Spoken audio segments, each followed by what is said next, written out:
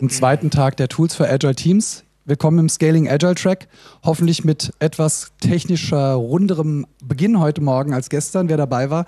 Ähm, aber ganz bestimmt, wir haben jemanden hier vor Ort. Und vor allen Dingen haben wir heute den Felix hier vor Ort, der gestern leider krankheitsbedingt ausgefallen ist, aber natürlich grandios vertreten wurde von Yvonne. Ja, Yvonne kann alles, aber ich bin froh, dass ich meine Stimme zurück habe. Ich freue mich, dass ich äh, hier sein kann.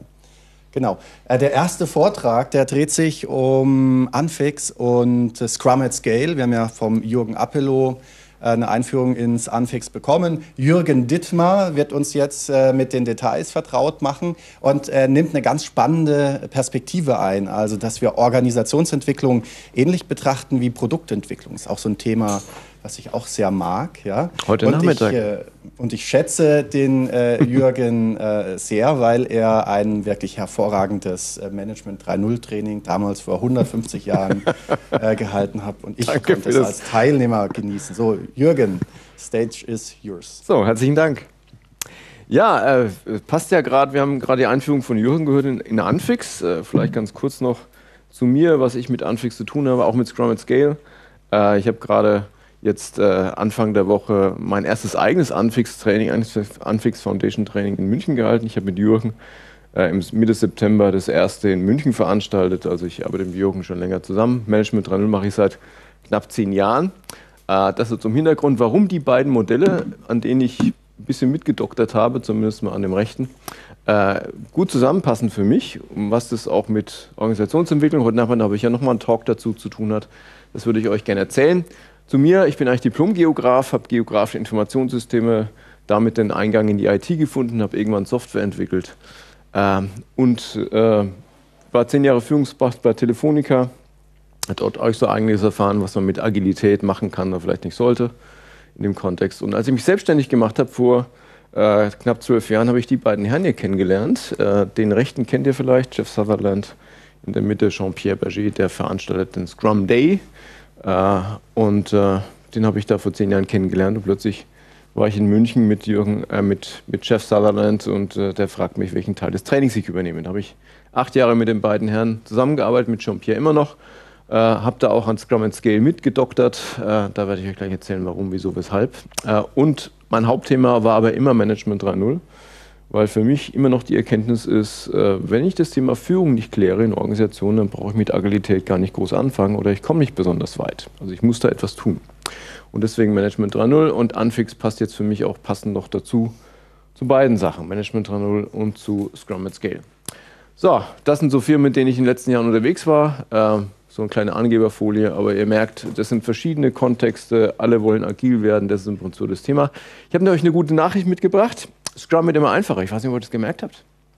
Ja? 2011 steht im Scrum Guide drin, Scrum is extremely difficult to master. 2013 wird schon einfacher, da steht nur difficult to master drin. Und ich weiß nicht, ob ihr im letzten Scrum Guide mal reingeguckt habt, da steht jetzt folgendes drin. Scrum is simple.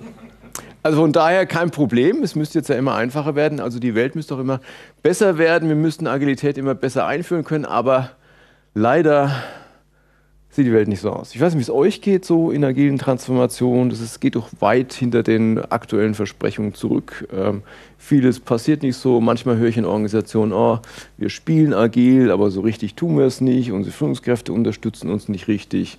Was gibt es noch so? Äh, wir müssen es on top, oh, Echo, on top liefern. Ähm, zu normalen Verpflichtungen, also irgendwie obendrauf so nebenbei machen wir Agilität. Ja? Äh, dann gibt es so äh, Wasserfall, agile Transformationsprojekte und so weiter und so fort. Also sieht nicht so richtig, äh, muss ich sagen, perfekt aus. So ganz simpel scheint es wohl nicht zu sein. Ähm, woran liegt es? Aus meiner Sicht gibt es da einen Grund, es gibt verschiedene Gründe, aber unter anderem eins, äh, der Scrum Guide ist einfach zu klein. Da steckt viel zu wenig drin. Da wird ein ideales Team beschrieben, aber was nicht beschrieben wird, beispielsweise, was machen wir mit Management? Da steht nichts über Management drin. Da steht auch nichts drin über, wie man es einführt. Es ist einfach das ideale Team, das entsteht irgendwie, es ist da, keiner sagt, wie, wo kommen die her, ja, äh, wo schwitzt man sich die raus. Und ansonsten Skalierung steht ja auch nicht drin. So, und da gibt es verschiedene Ideen. Aus meiner Sicht Management 3.0 sagt zumindest mal über das Thema Management einiges und das Thema, wie führt man es ein, also dem Thema Change, Organisationsveränderung.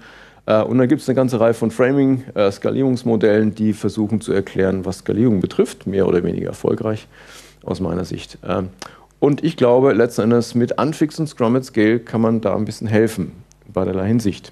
Und warum, werde ich euch gleich erzählen. Typische Fehler bei der Verankerung agiler Methoden aus meiner Sicht ist sowas wie mangelndes Verständnis agiler Prinzipien. Ich weiß gar nicht, wie ich es kaputt machen kann, gerade in der obersten Management-Ebene. Deswegen äh, wird da viel kaputt gemacht, ohne dass man es möchte vielleicht. Aber es gibt eine fehlende Strategie bezüglich Management, Organisationsentwicklung. Kulturwandel wird unterschätzt. Ja. Man weiß auch gar nicht so richtig, äh, wie man damit umgehen soll. Der Fokus ist meistens auf schnelle Umsetzung in Projekten als auf Nachhaltigkeit. Und es gibt ein mangelndes Verständnis, komplexe Systeme, Systeme zu verstehen und zu verändern. Und deswegen klammern wir sich meistens an die Dinge, die man aus der Vergangenheit kennt, nämlich an Frameworks agile Change-Projekte und irgendwelche Best Practices. Ne? Das Spotify-Modell zum Beispiel.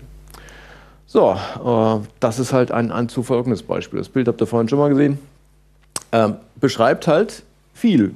Und man muss sich da keine großen Gedanken machen. Man kann es einfach nehmen und muss es nur noch implementieren.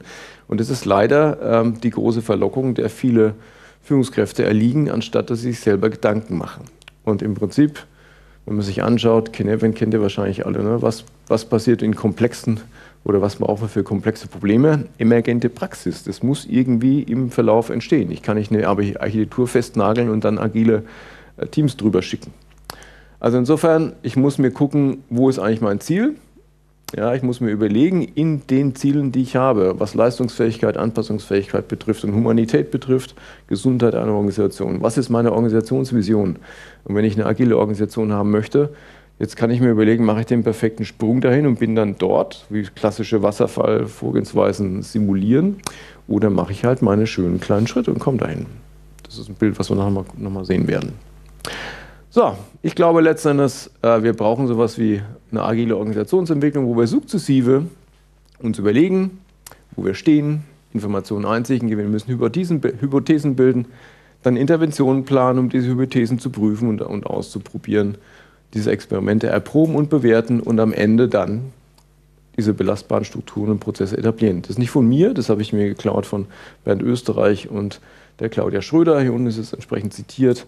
Das ist eine der Darstellungen von klassischen systemischen Schleifen in der Organisationsentwicklung. Und ich glaube halt letztens, sowas müssen wir kontinuierlich immer machen, um dann am Ende, ich denke da dieses Bild von gerade eben, irgendwann dahin zu kommen, wo die agile Organisation sein soll. Vielleicht hat es sich bis dahin auch wieder weiter verändert und so weiter. Ja?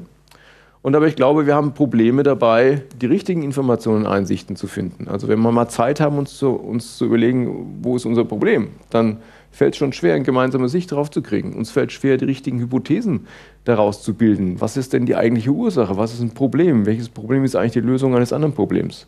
Und so weiter. Da muss man sich viel Gedanken machen.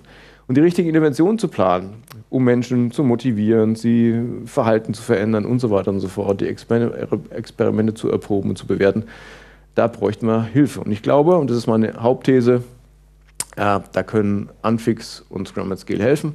Weil wir haben unter anderem auch so ein Modellierungsproblem. Also nicht nur, dass Modelle generell falsch sind. Ich hoffe, ihr wisst das. Modelle sind falsch per se, weil die sind ja eine Abstraktion der Realität, also per Definition falsch. Aber wir haben auch ein Problem, wenn wir gemeinsam über Wahrnehmungen sprechen. Wir haben nämlich unterschiedliche mentale Modelle im Kopf. Und vielleicht ist es euch auch schon mal aufgefallen, ihr redet mit Leuten über Selbstverständlichkeiten, die euch klar sind. Und plötzlich stellt ihr fest, die meinen ganz, ganz was anderes. Begriffe werden unterschiedlich bezeichnet und so weiter und so fort. Und das ist das, der wichtigste Grund für mich.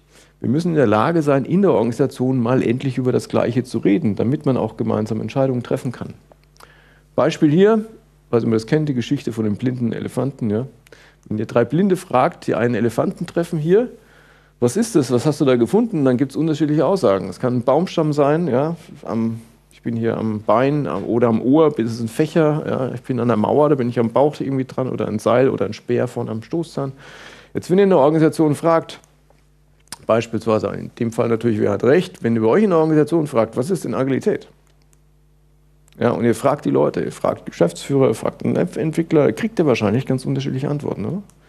Für den einen ist es irgendwie totale Effizienz, für den anderen ist es Humanisierung, für den nächsten ist es bessere Kontrolle und so weiter und so fort. Also ganz unterschiedliche Dinge. Und wenn ihr gemeinsam in der Organisation was machen wollt, was Sinn macht, dann müssen wir doch irgendwie mal auch Konsens finden. Und deswegen glaube ich, dass wir gemeinsame Modelle ähm, kreieren müssen. Und deswegen helfen solche Tools, solche haptischen Tools, das ist ein Foto aus dem Unfix-Workshop, äh, den wir in München gemacht haben, Diskussionen zu, äh, ja, zu unterstützen und, und zu verbessern, wie man gemeinsam Verständnisse entwickeln kann. Und deswegen, aus meiner Sicht, helfen beide dieser Tools in der Richtung voranzukommen. Ähm, es gibt gewichtige Gemeinsamkeiten zwischen den Tools, sind einfache Tools, es geht immer um das Thema äh, empirische Innovation zu machen, schrittweisen Wandel. Beide Tools bieten keine Prozesse und keine Practices an. Das ist ein kleiner Disclaimer, da gehe ich nachher noch drauf ein, was Scrum at Scale betrifft. Das heißt, sie schreiben nicht vor, wie ich es mache. Die geben dir Möglichkeiten und dann kannst du überlegen, was du daraus machst und tust. Ja, es, eine Bottom-up-Vorgehensweise ist eher sinnvoll im Kontext. Es ist kein Ersatz für andere Modelle, also es konkurriert eigentlich nicht mit einem anderen Skalierungsmodell.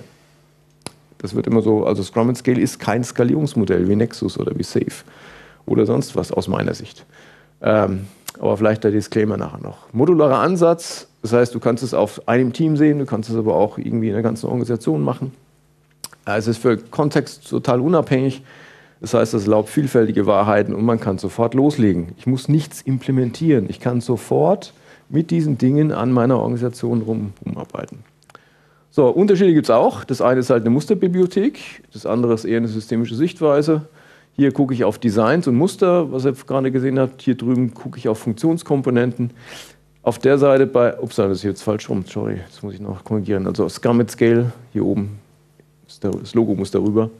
Äh, da geht es um Bewertung von, von Komponenten. Hier kann man ja auch wirklich bewerten, was ich bei Anfix nicht kann. Da tue ich einfach nur verschiedene Wahrheiten entsprechend machen. Also die Stärke hier drüben ist Szenarienplanung und von verschiedenen Mustern, Diskussion von Mustern.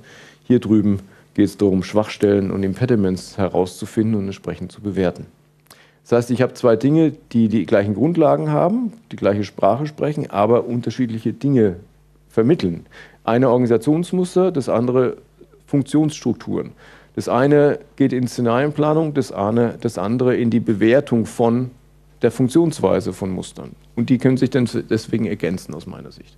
So, ich gehe hier relativ kurz durch, äh, welche Strukturmuster hat, hat äh, Anfix. Die habt ihr gerade selber gesehen. Die Base, ähm, das quasi so eine Größenordnung ist von wenigen 10, 10 bis äh, wenigen 100 Größenordnung. Dann gibt es die Basic Crew Types.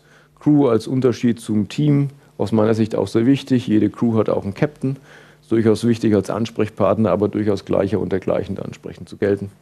Aber Crews haben äh, unterschiedliche Sachen. Hier gibt es diese vier ähm, grundlegenden äh, Teams sozusagen, Teamstrukturen aus Team Topologies, denen sich Jürgen äh, ausgeliehen oder wo sich Jürgen die Sachen ausgeliehen hat.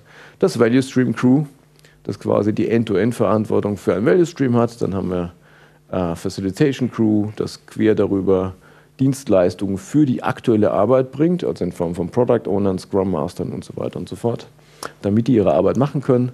Ich habe die Capability Crew, ähm, die entsprechend spezielles Wissen beinhaltet und den anderen hilft, äh, ihren Job zu machen, aber nicht ständig bei denen ist, sondern nur für spezielle Dinge.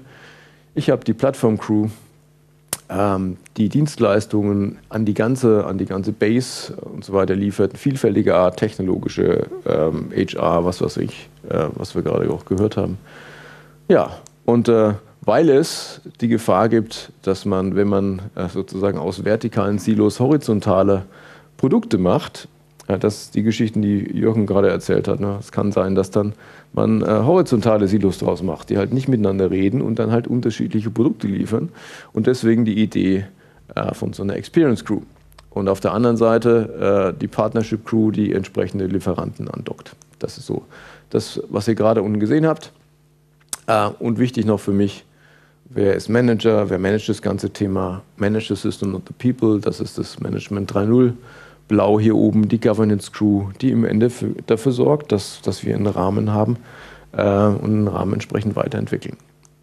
So, das soweit zu Unfix. Das sind diese sieben Crew-Types. Dann gibt es noch entsprechende Foren, die drunter liegen, die bestimmte Dinge machen können. Die liegen halt entsprechend unten drunter. Das sind hier neun Stück, die Jürgen bisher formuliert hat, aber da kann man relativ flexibel sein. Was da drunter liegt, das sind für mich Communities of Practice, die quasi leichte Bindungen haben gegenüber den streng, strengen Bindungen, die entsprechend Crews drin sind. So, und daraus kann ich mir mal meine Organisation bauen. Also ich kann mir den Status quo mal formulieren und kann mir dann überlegen, was, was fehlt mir vielleicht hier an Mustern? Vielleicht äh, habe ich Inspiration, die ich daraus erlange, um zu sagen, na, Experience Crew habe ich nicht. Aber wäre das nicht eine gute Idee? können wir uns mal überlegen. Vielleicht machen wir mal ein Experiment, probieren es mal aus, ob das entsprechend hilft. Also das ist so die Idee, über den Status quo Ideen zu bekommen für irgendwelche Zukünfte, die mir vielleicht das ganze Thema entsprechend besser helfen. Ja. Ähm, genau. Und einfach rein das Modellieren und Anschauen äh, hilft schon, gemeinsames Verständnis zu, dafür zu bekommen, wo stehen wir. Auf dieser Webseite seht ihr ganz viele Modelle, Patterns, da könnt ihr ganz viel lesen. Äh, hat Jürgen sehr viel äh, äh hingestellt, was man sich wirklich runterladen kann. Auch die ganzen Karten und Dinge gibt es da so zum Runterladen. Könnt ihr euch mal entsprechend anschauen. Das war der Workshop, den wir in München hatten im September. Genau, Scrum at Scale. Äh, wie gesagt, ähnliche Idee, äh, nur anderes Thema. Ähm, da gehe ich relativ kurz drüber. 2014 ist erstmal vorgestellt. Äh, Ende 2014 habe ich dann auch das erste, den ersten Workshop in München organisiert. Da war Jeff damals krank und musste im, im Krankenhaus, äh, nicht im Krankenhaus, im Hotelzimmer liegen, aber hier Alex Brown war der, der das das, das geistige Hirn eigentlich hinter dem Ganzen. Der das mitgemacht. Ich habe mich danach mit Alex dann noch in, einem, in meinem Büro getroffen. Wir haben noch mal einen ganzen Tag darüber gehirnt, wie man es noch entsprechend verbessern kann. Von daher äh, ganz hilfreich. Ähm, das Ganze hat sich weiterentwickelt, es wurden irgendwann Zertifikate gemacht, dann hat sich die Scrum Alliance dem Thema angenommen, hat gemeinsam mit äh, Scrum Inc., der Firma von Jeff, eine Firma gegründet, Scrum at Scale äh, LLC. Äh, der Scrum at Scale Guide wurde veröffentlicht. Äh, es wurden über 100 Scrum at Scale Trainer entsprechend aktiv mit Trainer, Trainer ähm, angeworben oder entsprechend äh, etabliert. Aber irgendwann gab es dann Stress zwischen Jeff und der Scrum Alliance. Ich weiß nicht, ob ihr davon gehört habt. Die haben sich getrennt. Scrum, äh, Scrum at Scale LLC wurde aufgelöst. Und insofern ist das ganze Thema jetzt bei der Scrum Inc. Ich war offizieller Scrum Scale Trainer, habe mich dabei zurückgezogen, weil mir das Ganze A zu politisch und B zu teuer wurde und die ganzen Modelle. Aber ich mache weiter Scrum Scale Trainings. Es ist ja ein offenes Modell, man kann sich das entsprechend anschauen und nutzen. Man muss ja kein zertifizierter Scrum Scale Trainer sein, 5000 Dollar im Jahr dafür bezahlen, nur damit man diese Trainings macht. Ähm, genau, das Framework, wie sieht das aus? Die Idee dahinter ist, wenn ihr eine Organisation anschaut, dann besteht ihr aus verschiedenen Modulen. Das Kernmodul kennen wir alle, den Team-Level-Prozess. Und wie oft habt ihr eure Team-Level-Prozesse angeschaut und geguckt, ja, wir haben ganz tolles Scrum Master, unser Team funktioniert super. Wenn das mal passiert, ja, dann ist damit noch nichts gesagt, ob ihr eure Kunden damit glücklich macht. Weil ja, es gibt bestimmte Dinge, die da sein müssen, damit so ein Team, auch wenn es entsprechend liefert, äh, dass damit was rauskommt. Und die schauen wir uns mal an. Da geht es um den Scrum Master Zyklus. Da gibt es in der Mitte das Executive Action Team. Ähm, oh, sehe gerade. Gut. Das möglicherweise von, muss ich auch was ändern, dass beim Übersetzen was passiert. Executive Action Team, ähm, das äh, im Endeffekt äh, sich um den ganzen Scrum Master Zyklus kümmert. Das kann in einem einzelnen Team ein Scrum Master sein. In der Organisation ist es ein Management-Team mit anderen Leuten, die mit formaler Macht was entscheiden können. Also insofern skalenfrei und kann auf verschiedenen Ebenen eingeführt werden. In der Abteilung ist es halt dann Abteilungsleiter, Team und so weiter und so fort. Aber auf der anderen Seite ähm, die kontinuierliche Verbesserung. Ähm, oh Gott, da habe ich irgendwie einen automatischen Übersetzung, Übersetzer drüber gelaufen. Also diese Begriffe, vergessen wir mal schnell. Ja. Kommen gleich nochmal neu. Also kontinuierliche Verbesserung, Impediment-Beseitigung, das ist die Komponente, die ähm, die auch da sein muss. Also ihr müsst eure Impediments beseitigen, sonst wird Team nicht besser. Und ihr habt irgendwann frustrierte Leute und dann geht die Performance runter. Auch eine Funktionskomponente. Ihr müsst irgendwann Cross-Team-Coordination machen. Also die müssen mit anderen Teams zusammenarbeiten. Wenn das nicht funktioniert, auch schwierig. Ihr müsst irgendwann, das sollte Deployment sein, das Thema auch irgendwie äh, raus zum Kunden bringen, weil ihr könnt die beste Software machen und die kommt nicht raus. Pech gehabt. Dann der Product Owner Cycle. Jetzt bin ich gespannt, was da für Übersetzungen rauskommen. Ähm, also Executive Meta Scrum heißt es hier. Ähm, das äh, ist fast so richtig geschrieben. Das ist ein anderes Format, was sich darum kümmert, die Produkte auf die Straße zu bekommen. Während die sich oder dieser, dieser Bereich sich hier um die Verbesserung des Systems kümmert, kümmern die sich um die Lieferfähigkeit. Das heißt, da ist ein Team, was sich kontinuierlich darum kümmert, schnell gemeinsam zu liefern. Auch mit Menschen mit formaler Macht ausgestattet, damit es entsprechend schnell passiert. Da gibt es die strategische Vision. Ähm, und ihr wisst natürlich, wenn die strategische Verwaltung Grütze ist, dann können solche Teams auch nicht unbedingt was Gescheites liefern. Ne? Also Shit in, Shit out.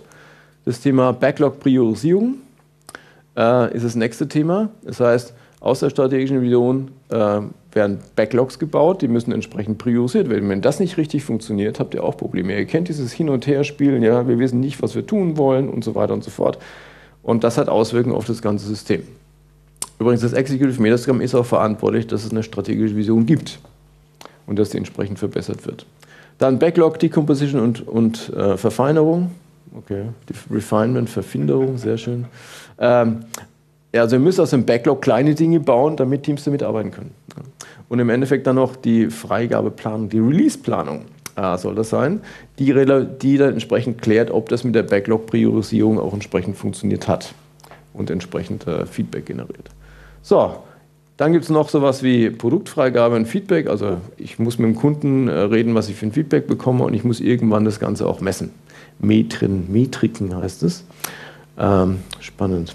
Also, diese ganzen Module müssen irgendwie einigermaßen funktionieren, damit das ganze System funktioniert. Das ist die dahinter. Und ihr könnt quasi dann entsprechend beschreiben, das ist der Scrum Master Zyklus und der Product Owner Zyklus. Hier drüben das Wie, hier drüben das Was und äh, das Produkt, ähnlich wie in einem, einem Scrum-Team. Und hier gibt es sowas wie das zentrale Herzstück. Ähm, Im Prinzip ist das auch im Scrum-Team der Scrum Master, Product Owner und das Development-Team. So, ich gehe da mal ganz kurz drüber, weil ich merke, durch diese Störung, äh, im Prinzip ist das, was wir auch schon mal besprochen haben. Ja? Also ich betrachte die ganze Organisation als System, um das Optimum des Gesamtsystems zu erreichen. Das ist die Idee. Ich habe einen modularen Ansatz, äh, mit diesen verschiedenen Komponenten. Ich berücksichtige individuelle Bedürfnisse und den Kontext. Ich verwende keine Best Practices.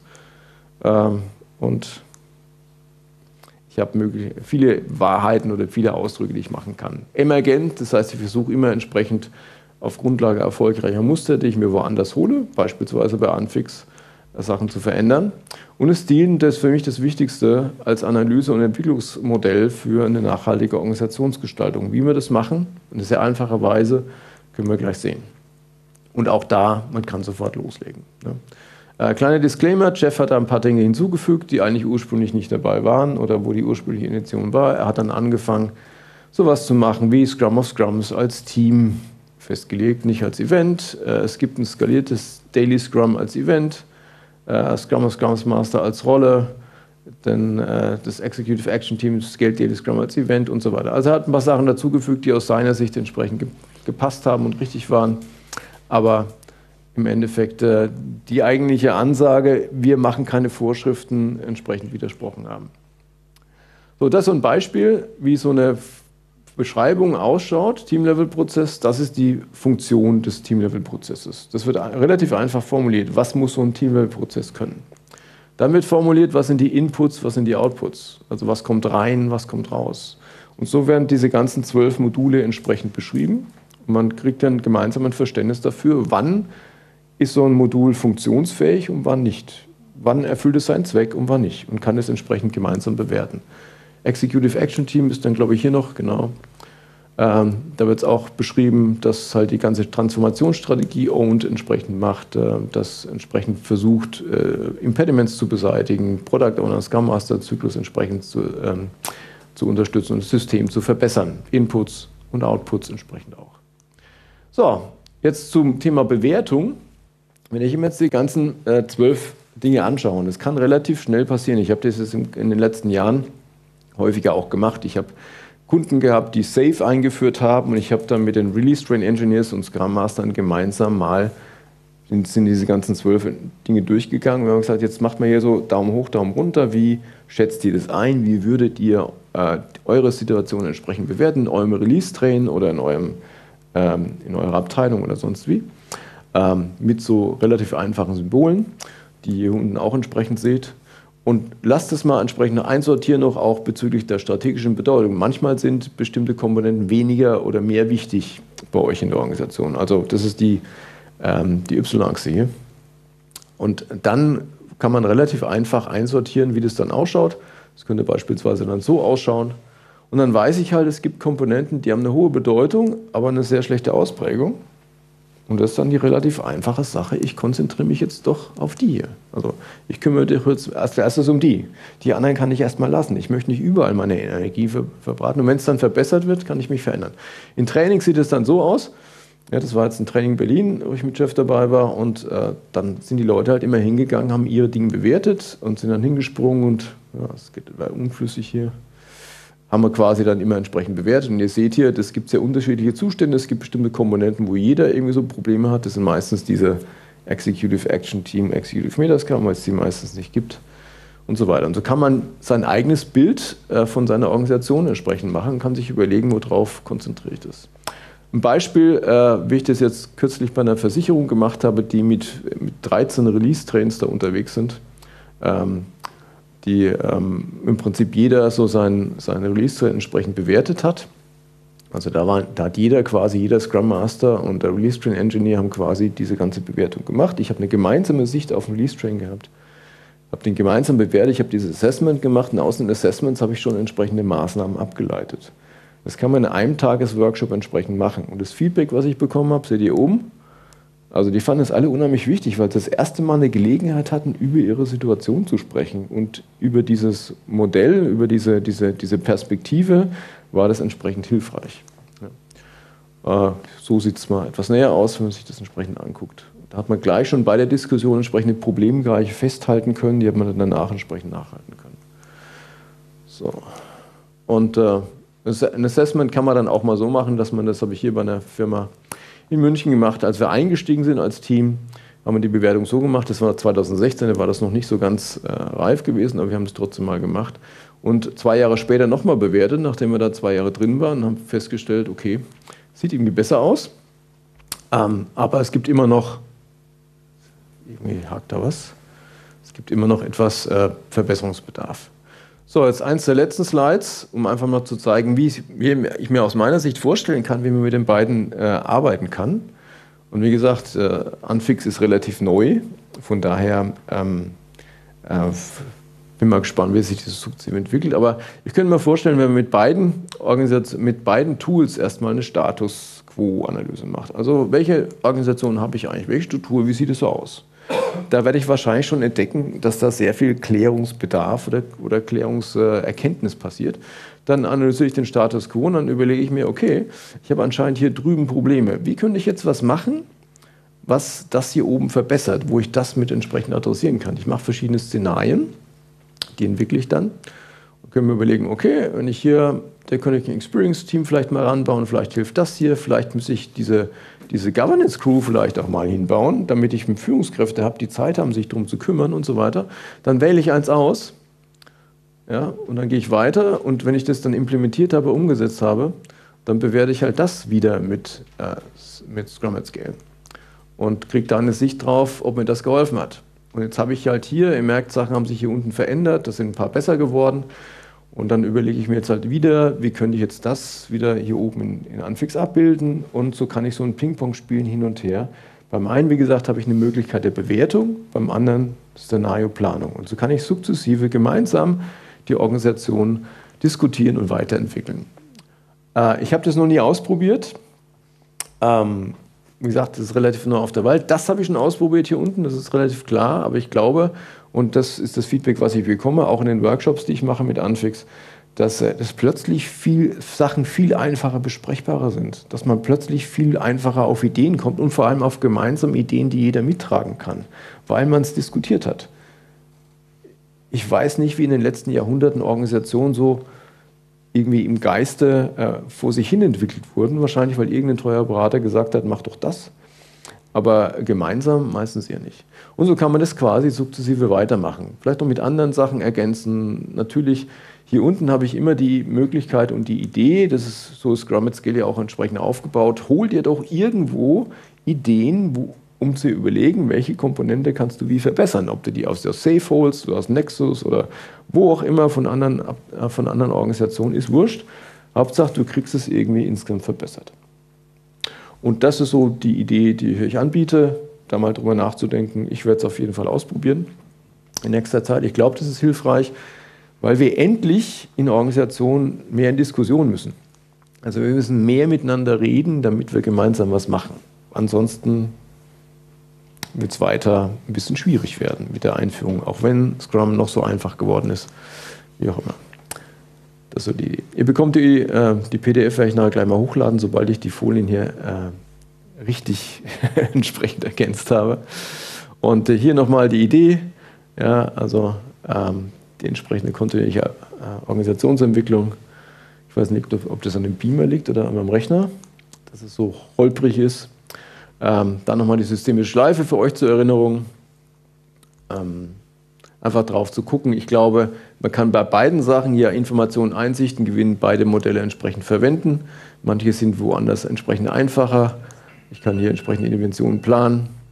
Ähm, Experimente erproben, bewerten, das ist wahrscheinlich die Stärke hier eher von, von Scrum at Scale. Und diese Strukturen und Prozesse etablieren, das ist wahrscheinlich eher die, die, ähm, die Sache von Anfix. Genau. So, und das hatten wir schon besprochen. Bin ich am Ende. Fragen dazu von eurer Seite noch?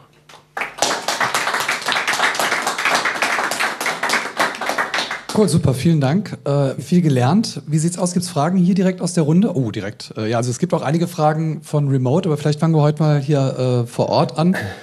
Jonas oder? Roman. Äh, ja.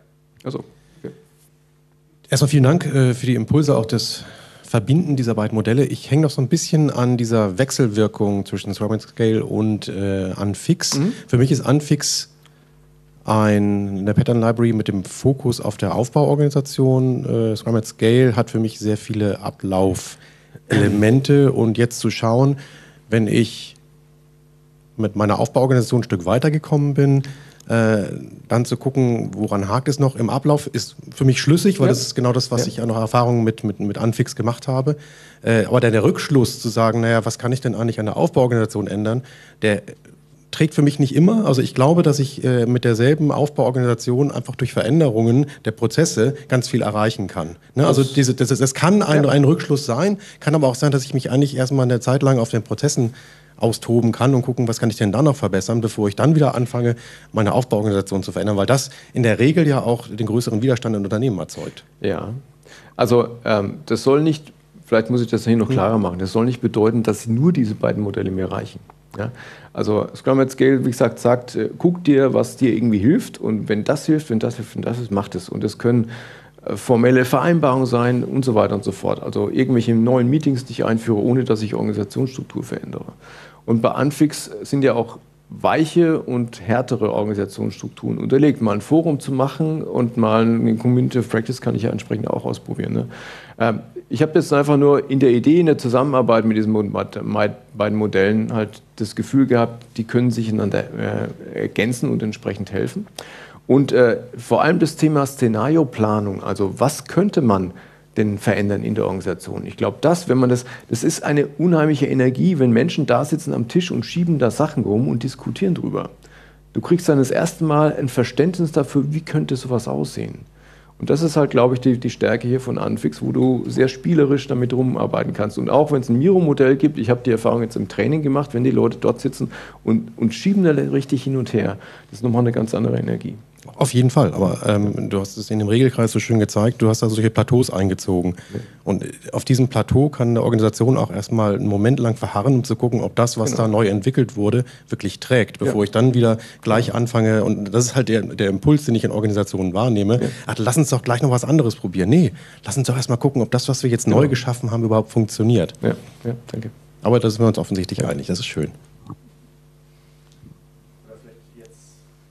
Kurze Frage aus, äh, also die remote gestellt worden ist. Ich mache ziemlich viel mit Safe. Mhm. Da ist das Value Stream-Konzept sehr wichtig, Wertstrom-Konzept. Wie mhm. sieht denn das eigentlich in Scrum at Scale aus und in Unfix? Also ich hatte das jetzt bei dem Unfix-Vortrag vom Jürgen beispielsweise äh, ähm, vermisst, ja, und eigentlich die meisten Safe-Implementierungen scheitern, weil man sich äh, komplett falsch aufstellt. Also nicht äh, den Wertstrom erkennt und sich um den Wertstrom herum. Also der Wertstrom jetzt in Scrum at Scale, ich habe jetzt nicht lange drüber nachgedacht oder gibt es keine Definition aus meiner Sicht offiziell, aber der Wertstrom eigentlich ist auf der, in dem Product Owner Cycle. Das ist der Wertstrom, ja, wo du von der strategischen Vision im Endeffekt dann zum Release des Produktes kommst. Das ist für mich die Seite. In Unfix, äh, Value Stream Tune, äh, Cruise gibt es ja entsprechend. Äh, in einem Training ansonsten geht man aber noch auf Jobs to be done ein, auf die Art und Weise darüber zu sprechen, dass am Ende eine Experience rauskommen, rauskommen muss. Und er, er versucht auch den, die Wertstromdefinition entsprechend zu verändern, Richtung Experience und Richtung Job, Job to be done. Weil das ja häufig auch ein Problem ist, dass man zu sehr auf Produkte schaut und zu wenig auf Kundenerfahrung. Also das vielleicht zur Ergänzung. Ein paar Minuten hatten wir noch, genau, hier war noch eine zweite Frage schon mal. Dankeschön. Ähm, meine Frage ist in dem Assessment, äh, was ich jetzt da gesehen habe, mhm. ähm, das ist sehr menschengetrieben, sage ich jetzt mal. Inwieweit ähm, versuchst du oder versucht ihr oder versucht man ähm, auch datengeschützte Aussagen zu erheben, weil ja kognitive Verzerrungen gerade in diesem Assessment-Prozess eventuell eine große Rolle spielen könnten? Mhm. Also Ich habe es bisher immer nur in der Form durchgeführt und ich glaube, diese Unschärfe muss man lassen. Klar, diese kognitiven Verzerrungen tauchen überall auf und häufig, also meine Erfahrung, Hypothese, wenn du eine Idee hast, super, würde ich gerne mit dir diskutieren. Ansonsten habe ich ja eher die Erfahrung, dass wir, dass wir versuchen, mit, ähm, mit, mit, äh, mit Daten und Tools das zu beweisen, was wir irgendwie im Kopf schon mit kognitiven Verzerrungen vorgeprägt haben. Das ist manchmal auch so das Problem. Also gerne kann man darüber schauen. Äh, ich habe so das, die Erfahrung auch gemacht, diese, dass es so nur fünf Faktoren sind, dass es so, un, un, dass sie so grob sind, ist egal. Es geht um die Diskussionen, dass Menschen miteinander reden, gegenseitige, äh, äh, sich gegenseitig erklären, austauschen. Und das ist das, das Kräftige an dem Thema. Und ob das jetzt eine 4 oder eine 5 oder eine 4,3 oder sonst was ist, ist dann eigentlich wurscht. Hauptsache, man einigt sich gemeinsam daraus, ja, wir wollen jetzt Energie in diese Komponente bringen. Und wir machen jetzt Ideen oder wir haben schon Hypothesen, wie wir das verbessern können. Und jetzt machen wir das Experiment. Organisationsexperimente, das ist das Wichtige, was man hier machen muss. Und nicht Reorganisation, das ist immer dieses starre Wahnsinn, deswegen haben Angst. Ja? Äh, Mr. Fowler, der was, glaube ich, der gesagt hat, wenn irgendwas schmerzt, dann tu es halt öfter. So, und das trifft nicht nur, was Releasen betrifft, auch das trifft auch, äh, das trifft auch das Thema Organisationsentwicklung. Mach's halt öfter, in kleineren Schritten und dann tut sich mehr weh, da haben die Leute auch keine Angst mehr davor. Wir haben noch eine weitere Frage aus dem Online-Katalog. Äh, wie gehst du mit den unterschiedlichen mentalen Modellen um? Also gehst du in die Workshops rein? Ich glaube, im Workshop gleichen sich ja die mentalen Modelle der Teilnehmer an. Jetzt haben wir eine große Organisation. Wie tragen wir dieses neue Verständnis oder wie trägst du dieses neue Verständnis in die Organisation rein? Sodass alle ähnliche oder gleiche mentale Modelle haben. Ich weiß nicht, ob es notwendig ist, dass alle ähnliche oder gleiche Modelle haben. Ich glaube, das ist auch gar nicht möglich. Den Anspruch kann ich auch gar nicht haben. Ich glaube, ich muss in der Organisation und deswegen ist es für mich wichtig, also ich versuche System, systemisch, systemtheoretisch auch unterlegt mit Organisation, mit Organisationskultur umzugehen. Und dann weißt du, dass jeder in einem Kontext entsprechend unterschiedlich unterwegs ist, dass der Rahmen, das System, die Kultur, das Verhalten der Menschen entsprechend prägt. Von daher geht es mir vor allem darum, wie kann ich Kulturmuster schaffen, wo Menschen sich entsprechend aufgehoben fühlen, wo sie eine Orientierung haben. Und da bin ich sehr stark beim Thema Führung und Management, äh, die eine Geschichte erzählen müssen. Also die in der Lage sind, eine Geschichte der Agilität beispielsweise zu erzählen. Hier, warum brauchen wir das? Warum ist es notwendig? Warum brauchen wir es hier und hier brauchen wir es gar nicht? Warum ist es, also diese Ambiguität, diese Dissonanz klar zu machen, zu erzählen, auch ins Risiko zu sehen und zu sagen, ich weiß aber nicht, wie wir jetzt damit umgehen. Jetzt müssen wir mal gucken. Wir haben bestimmt ein paar Experten bei uns, die das mit mir oder mit uns gemeinsam ausdiskutieren. Wir müssen jetzt Experimente machen, um hinzukommen. Warum sollen wir es anders machen? Also warum sollen wir gerade für das Komplexeste, was wir haben, nämlich unsere Organisation, ja, irgendwie wasserfallmäßig vorgehen oder sonst was? Gerade da, und das wäre mein Vortrag für heute Nachmittag, kann ich mal einen kleinen Spin-off machen, gerade da muss ich eigentlich mit der Organisation, ja, muss ich eigentlich so umgehen, als wäre es mein komplexestes Produkt und Experimente machen und Sprints machen und so weiter und so fort. Und das, da hilft dann Scrum at Scale auch ganz gut dazu und da. Okay, wir haben noch eine Minute. Ähm, du hattest auch noch eine Frage? Nee, okay, dann haben wir noch eine Frage aus dem. Also ich oh, weiß, wir haben noch einige Fragen. Wir haben noch eine Frage. Würde der PO nicht zum Value Stream gehören? Du sagst gerade Facilitation Crew. Also das ist nochmal ein bisschen zu sortieren. Ja, da habe ich mit Jürgen ja auch äh, viel drüber diskutiert. Äh, auch die Frage, ist jetzt ein Product Owner Value Stream oder sonst was? Von dem Verständnis her von Anfix kann ich das verstehen und akzeptieren, weil der sagt ganz klar, Product Owner, die Product Owner äh, Crew äh, gibt dem Team den Service Orientierung. Wir priorisieren für euch. Ihr kümmert euch um eure Arbeit. Scrum Master, die Agile Coaches als Facilitation Crew geben denen die Dienstleistungen, wir helfen euch, euer System zu verbessern, Agilität besser zu verstehen, sonst was. Die sind deswegen eine Facilitation Crew und keine Plattform Crew, weil sie halt direkt mit den Teams kontinuierlich immer arbeiten. Also die sind immer mit dabei. Eine Plattform bietet halt Services an alle, ob die es jetzt brauchen oder nicht. Das ist der Unterschied hier. Also deswegen sind die nicht im, also die arbeiten natürlich kontinuierlich mit dem Mailstream zusammen, sind aber nicht in der Crew entsprechend drin dabei. Das ist der Unterschied. Okay, super. Vielen Dank. Damit sind wir mit der Zeit durch. Ähm, du bist heute noch einen Moment hier, also wer Fragen an dich Ich hat. bin auch hier gerne. Ich habe heute Nachmittag, wie gesagt, um drei, glaube ich, noch einen anderen Vortrag in eine ähnliche Richtung. Genau. Und für Fragen, die von Remote noch kommen, ähm, über das Tool kann man auch eben Direktnachrichten schicken und ansonsten sind hier auch deine Kontaktdaten. Richtig, genau. Vielen lieben Dank. Gut, herzlichen Dank.